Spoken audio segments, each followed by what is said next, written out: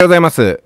今回の創価学会系動画なんですけども、一つお礼を申し上げたいと思いまして、この動画に変えさせていただきます。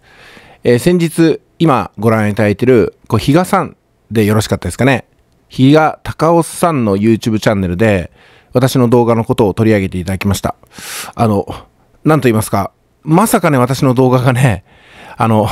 比嘉さんにご覧いただけるなんて、恐縮の行ったり来たりでございます。あの、冗談じゃなくて、本当にね、私、この、比嘉さんの YouTube チャンネル、よくよくね、勉強させてもらっていたんで、ここでね、まさか私のことをね、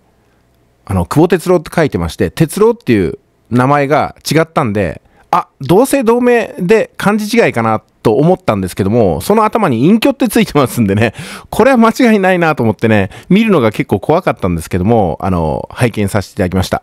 何度も再生させていただいて、あ、やっぱり思いって通じるのかなと思いまして、えこの YouTube の凄さとね、あと、やっぱり言葉と気持ちは慎重に選ばないと表現しないといけないなというふうに感じました。あの、私、あの、創価学会の方に怒りを感じていたりとかね、創価学会何やってんの？というところまで、あの、こう、なんと言いますかね、えーいわゆる弾圧の気持ちを持ってるわけではないんですよ。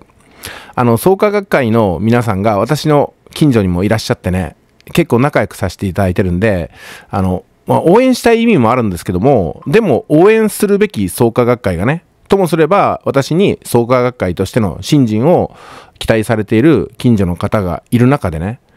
その創価学会があの公明党を応援してちゃダメだろうと。ね。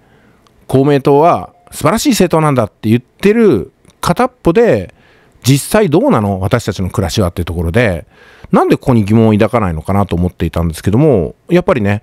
疑問を抱いてないわけじゃないってことが、この度、え粟田進さんなどの行動によってね、知ることができて、やっぱり疑問に思ってる創価学会の会員さんもいらっしゃったり、声を上げようとしても上げられる人が少なかったり、同調圧力といいますかね、やっぱり素直な疑問や表現をすると、